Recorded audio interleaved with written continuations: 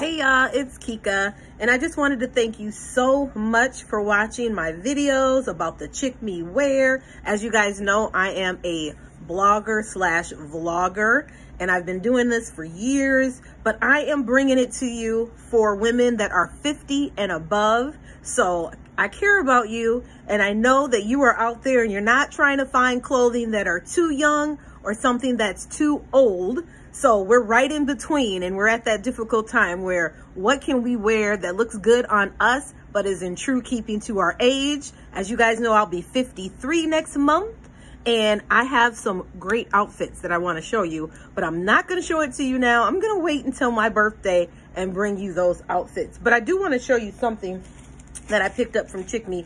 It was on sale for $4 now.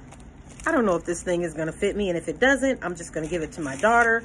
But it is so cute. So I think this is like, it's a bra, actually. It's not padded or anything. You know, us old women, we don't need that.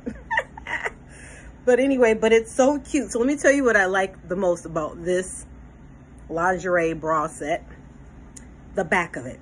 Look at that. You see that flower? Or the butterfly, I should say. Isn't that beautiful? I'm gonna see if this fits me, which it probably won't. And if it doesn't, that's fine. I'll give it to my daughter. I did get it in a barter. We'll see. But anyway, I hope you guys like the videos and keep watching because there's gonna be more design videos, AI videos, and fashion videos coming soon. Okay guys, so here we have an embroidery butterfly decor lace bralette. I got it in a size large, which fits sizes 8 to 10. I got it in the color black, and it cost me $4.99. All right guys, here's the verdict. I actually absolutely love that bra. However, I'm not feeling it with the rolls because that butterfly is so pretty on the back and then it brings your attention right to the rolls. So I'm actually going to keep it on my keep me list.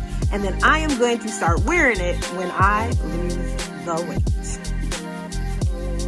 All right, y'all, if you have not subscribed to my channel, I'm going to need you to do so by hitting that subscribe button. That way you get notifications every time I upload a new video.